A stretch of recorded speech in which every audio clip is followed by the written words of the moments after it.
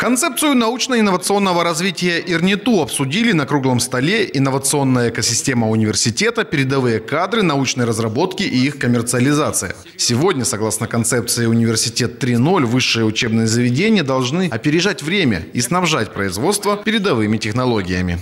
Нам необходимо перешагнуть самое сложное – ограничение в своем мышлении.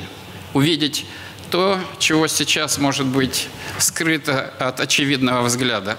Увидеть наше будущее, предсказать вектор развития и направить ресурсы в правильном направлении.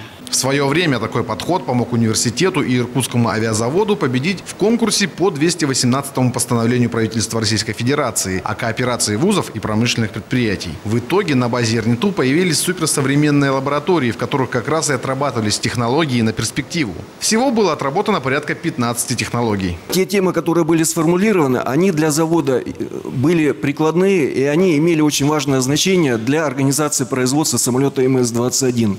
Эта работа была успешно выполнена, и сегодня тот потенциал, который создан, мы бы, конечно, хотели использовать этот потенциал уже непосредственно в промышленном масштабе. По словам участников конференции, сегодня для того, чтобы добиться успеха в науке, следует перестать копать свою какую-то узкую отрасль и основываться на мультидисциплинарном подходе. Следует сейчас больше переходить к анализу уже того, что уже было достигнуто в мировом, э, на мировом уровне.